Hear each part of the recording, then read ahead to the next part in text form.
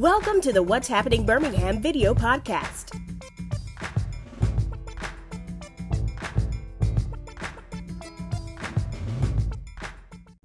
Hello, everyone. This is Jarvis. Scott with What's Happening in Birmingham. Today, I have the honor and pleasure of being with Councilman John Hilliard of City Council District 9. So, Councilman Hilliard, thank you for taking time out this great afternoon to sit down and talk with me. Well, thank you. Thank you for having me. I'm so excited to be doing this with you, you know, to talk about all the things that are happening uh, in the district, in the city. And uh, it's an exciting time to be involved. All right. So, like I was telling you all before, I'm doing a Know Your City Government series where I'm sitting down with all the people that's involved in Birmingham City Government. So I'm starting with the council side, and I'm heading over to the mayor side. So first of all, Councilman Hilliard, tell people where is District 9? Wow, District District Nine is out uh, in the western part of Birmingham. We cover uh, Wylam, North Birmingham. Uh, uh we cover uh, Pratt City, Ensley. We cover Westchester. Uh, we cover just a, a, a, variety of areas. Thomas is a part of our district, and we're just so excited to be working in a constituents. it's an area that I've known for many years. I represented that area when I was in the state legislature. Mm-hmm. Now I represent it well, now that I'm on the city council, and my family has been a part of that community for 123 years. So I feel indebted to uh, to that uh, to District Nine. All right. So what's some latest news with District Nine that you don't hear on the news? Wow, you know, council meetings? we have so many exciting things in District Nine. Uh, we have 19 neighborhoods in District Nine, so I have 19 bosses that uh, that I have to answer to in District Nine, okay. and uh, and, a, and a, just a, a, a, very well educated community. I'm I'm blessed to have uh, people in my community that are very informed and they understand what's going on. Some of the things that we have going on in District 9 right now that I can think of, we have uh, One Pratt Park, which is right behind the Pratt City Library. It's about to open. We push for that to happen. We're so excited about that development in the Wylam area. We're excited about the Wylam Library. Uh, we have secured the funds to uh, build the Wylam Library, so that's beginning to happen in the park in Wylam. We have just secured the new field and bleachers there, and soon to be building our, a, a restrooms and that in that area. Wylam has really been a big part of our area uh, to do. We've helped get uh, crosswalk signs for Wylam Elementary School. We've uh, been to Wylam Elementary School. We've met with the principal and and uh, we've toured the school on many occasions. Uh, when we go to uh, North Birmingham, Carver High School is uh, is in my district. We have a boxing program that's about to take place in uh, and there for kids ages 12 to 18. Uh, and when you say boxing, it's not so much about the boxing part of it, but what we're going to be doing is educating the kids. And in educating the kids, one of the things that we're going to do we're going to do field trips to go down to the Muhammad Ali uh, Success Center. It's important for us kid, our kids to see somebody who look like them that's been successful and really made it happen. Uh, I'm, I'm looking forward to that trip myself with our neighborhood leaders. We try to educate our neighborhood leaders. So every quarter we bring them together. We last did a tour of District 9 where we stopped at restaurants and businesses and radio stations and we took everybody to the zoo. Now we're excited this time around. Our next quarterly trip, we'll be going to Montgomery to uh, to the Lynching Museum uh, on June the first, where uh, along the trip uh, on the bus we will be uh, entertained by a comedian. We will have talks and conversations about what's happening in the city of Birmingham. So what I realized, the more informed and educated that my constituents are, the better that uh, District 9 will be and the better that I would be. So those are just a few things. I'm excited about our, uh, our aviation program. I want every kid in District 9 to have the opportunity to be able to get their pilot license by the time they finish school. And learn not only that, uh, use the airport as a training facility. We have the flight museum that is being built right now as we speak. We're excited about that. So the kids will be educated. They can start uh, in the fifth grade in some of our flight clubs and go all the way up to the 12th grade. So by the time they graduate, uh, they will be pilots and they also will be programs that are certificate type programs that can start them possibly making anything from $90 an hour and up uh, we're excited about that. Uh, and also uh, learning the mechanics of planes. Uh, they would be guaranteed a job starting at 70000 and up. Uh, when they graduate with just a two-year education in learning how to repair planes. That that industry needs some 480,000 mm-hmm. people mm-hmm. to apply. Mm-hmm. So uh, there's a, a, a, a, great future for uh, the constituents and the kids in District 9. I'm really excited about all of the things that are happening in District 9.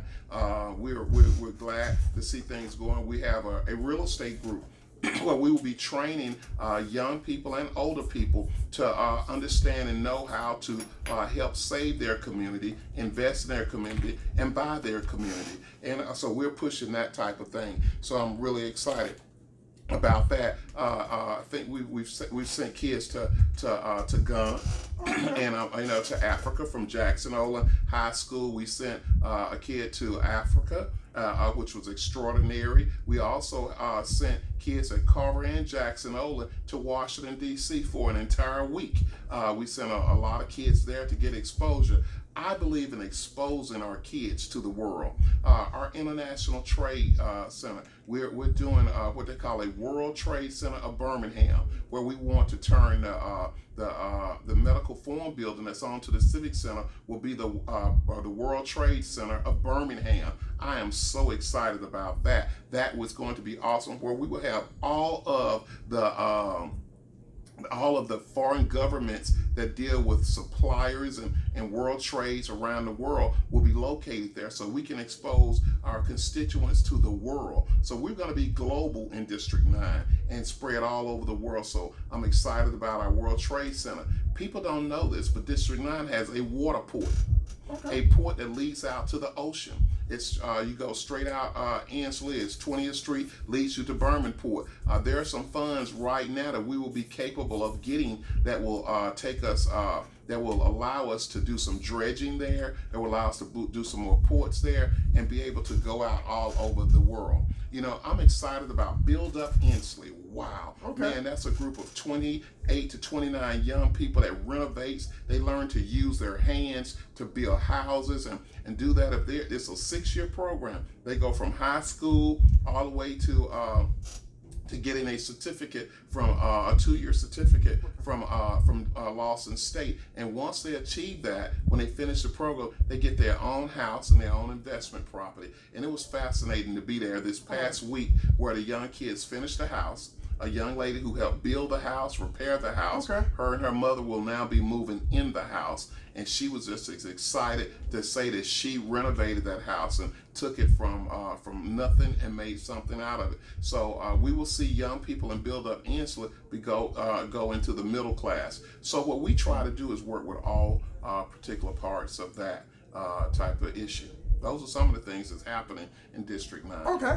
So let me go back to your day-to-day duties as a city council person. Mm. Um, for those people who just think, oh, they just think you, all, you guys just show up on Tuesdays. Wow. Or just neighborhood meeting. Can you wow. just kind of tell the views a little well, you know what? You know, I wish you could follow me. Actuality, this job is 24 hours a day you know, from the time I sit down on my bed, and from the time I get up in the morning, my phone starts ringing all the way until I go to sleep at all night. Right. Uh, people see you come home, they see you pull into your driveway, so you're never off. It's a round the clock job. It is a daunting task. I will admit to that because there are so many issues that has to be handled on a day-to-day basis. So my, my morning normally starts around uh, around five five thirty in the morning.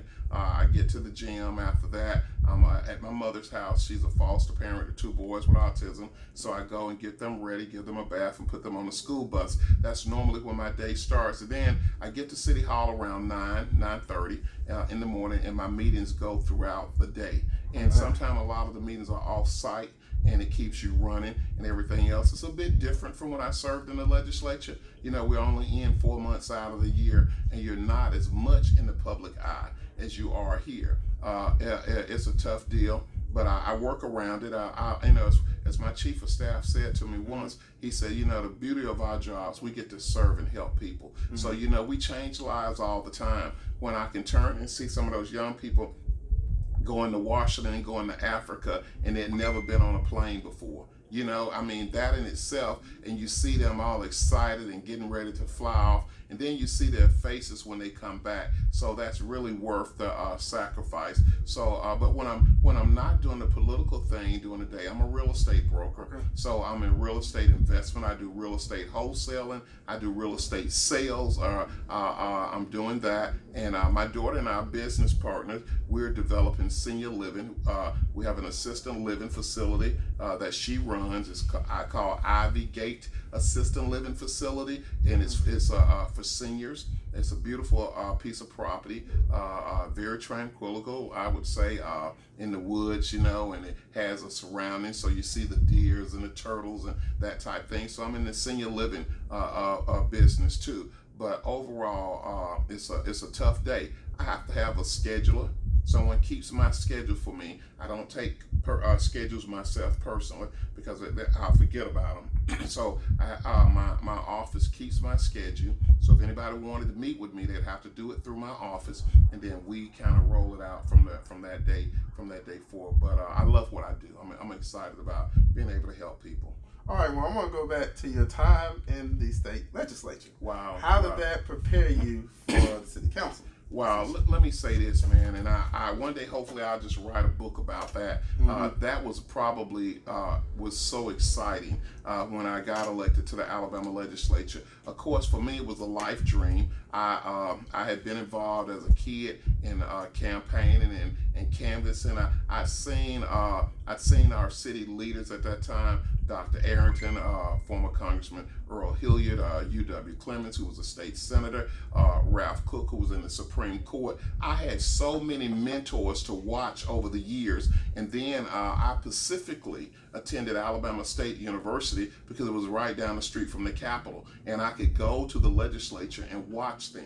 So uh, that was a thing of mine. It was sort of like a hobby. So I knew when I came home that I was going to run for uh, for the legislature. And I will tell you this: when I came, there was a large turnover, a lot of people. So I rose to the top very fast. I already knew uh, the rules. I already knew what to do because I've been watching them for four years in college. And uh, in the time there, I served with some brilliant, brilliant African Americans and whites, but mm-hmm. uh, but blacks were they the the, the the, the Black Caucus were my mentors. I served with Dr. Yvonne Kennedy, who uh, who developed Bishop State College and the national president of Delta Sigma Theta sorority. She was a great mentor of mine. Um, Demetrius Newton, who was from Birmingham, an attorney, very well educated African American. I, I serve with some people with strong voices, and when people hear me speak, they're like, "Wow, well, I, I had a chance to study some of the best uh, voices in the world." Uh, my seatmate, which was uh, a, a, gentleman by the name of uh, Lewis Spratt, he, he, was out of the North Birmingham area. Mr. Spratt helped me navigate and learn how to uh, to navigate and network in the legislature, and I used that. I networked. I went to meetings. I always tell young people the key to it is going to the meetings. I went to the meetings and I would learn from that, mm-hmm. and that helped me in what I'm doing here today. All right, well, let's kind of go forward a little bit and let's talk about the 2020 budget. wow. This is one of the most important parts of the year, yes. for the most important parts of your job. You know, you get a chance to give out money. Yes. And where you guys decide to distribute money to certain city services. Right. So right. tell me your, your thoughts so well, far. I often, say, I often say this to the constituents. Birmingham is a city built for 400,000 people. Mm-hmm. Uh, we only have 200,000 people. Mm-hmm. So imagine this. You have a city that's built for 400,000, which means that we got $400,000, uh, $400 million worth of bills and, and money we have to deal mm-hmm. with. But we only have half the people mm-hmm. and half the money to pay for it.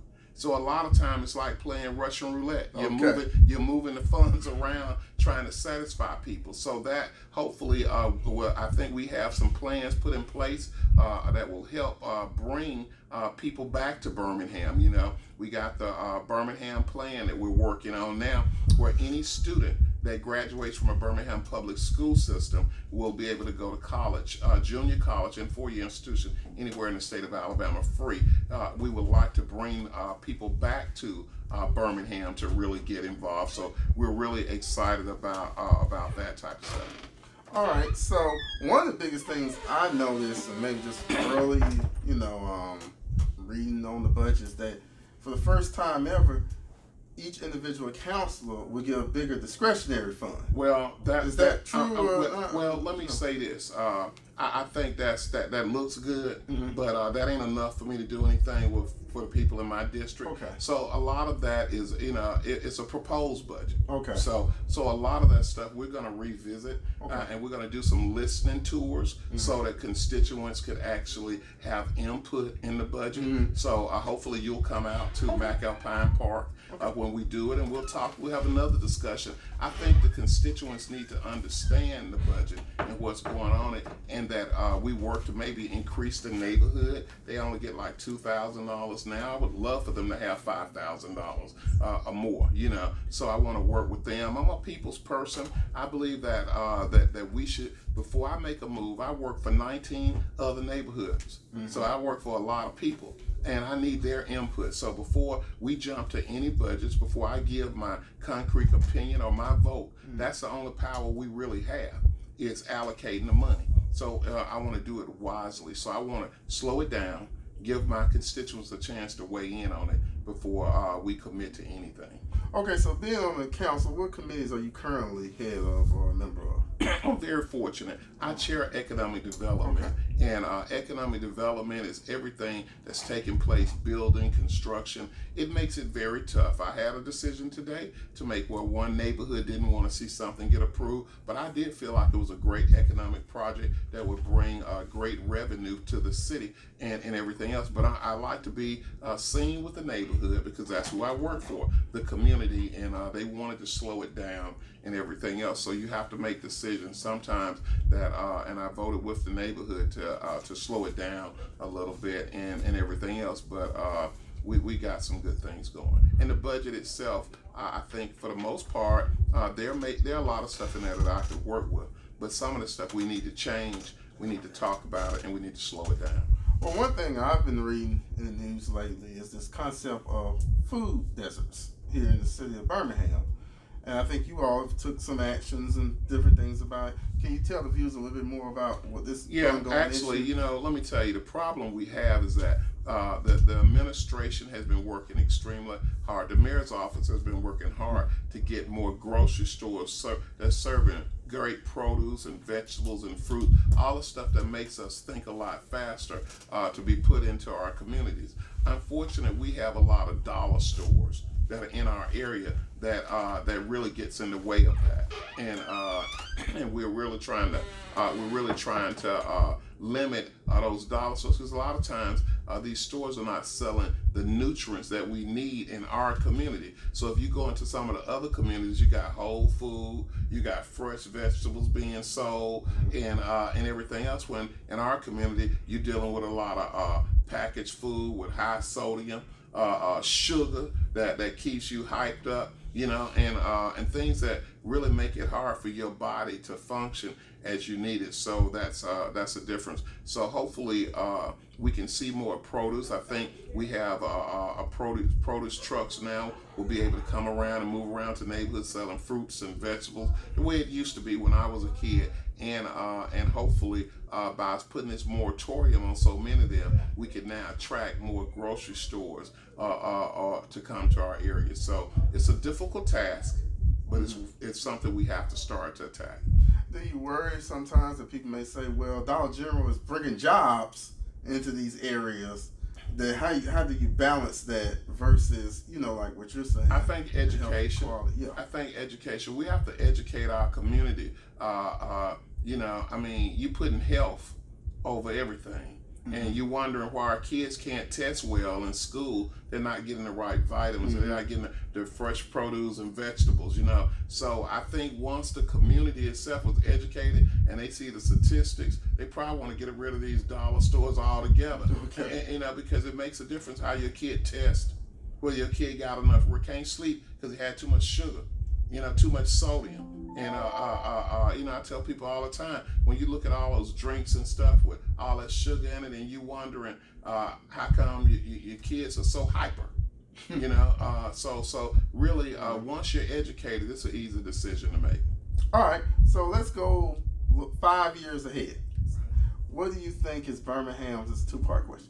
What do you think is Birmingham's biggest opportunity, and their biggest challenge? Oh, wow, man. Let me say this much. I think our largest opportunity now is to re educate our workforce. Okay. we got to get our young people prepared for technology, uh, for, uh, for coding.